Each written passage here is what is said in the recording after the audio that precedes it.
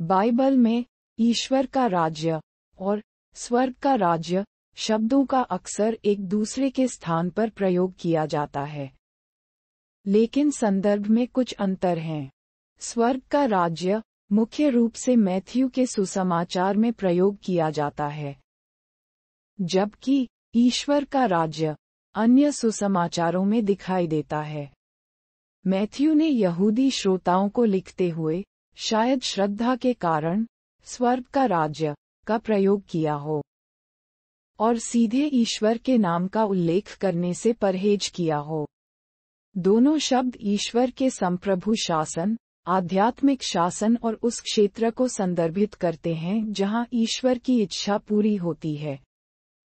जो उसके शासन के वर्तमान और भविष्य दोनों पहलुओं पर ज़ोर देता है। कुल मिलाकर अंतर अलग अलग अवधारणाओं की तुलना में ज़ोर और श्रोताओं के बारे में अधिक है।